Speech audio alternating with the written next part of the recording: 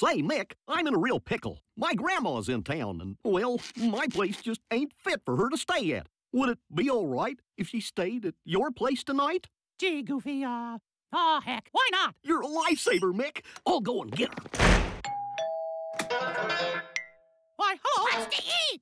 How about some lovely tea and biscuits? Biscuits? I'm fixing to fix myself.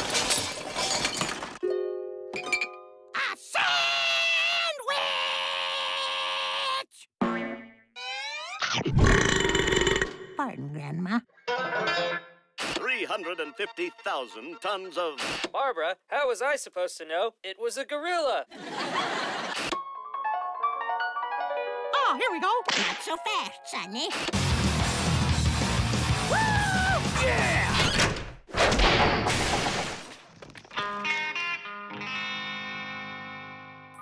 And here's the room where you'll be staying. I hope you like it.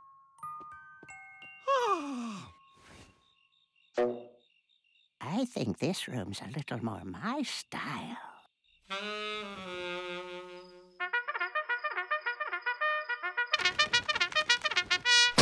Breakfast is being served in the mess hall. All right, look, you can eat all my food, smash up my walls, but I draw the line. I hope you like hotcakes. I always seem to think they taste a little better when they're heart-shaped. For me? Here comes Grandma. Here comes Grandma. Here comes Grandma.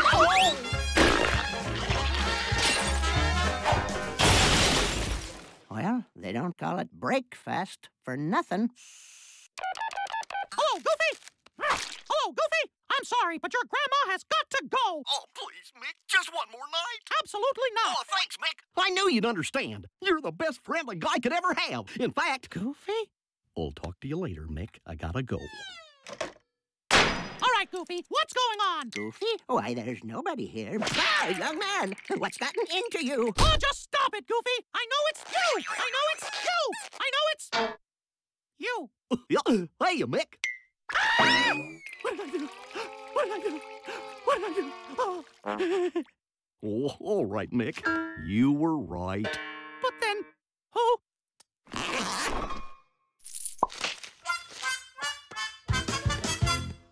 Why, Goofy? Mickey, I. I couldn't stay in my house not one more night. Why not? Because there was a spider. A spider in your house? Ugh. All right, Goofy, let's go. What? Go where? To go take care of the spider. Careful, Mick. Don't look him directly in the mandibles. Oh, Goofy, it's just a little spider. Ah!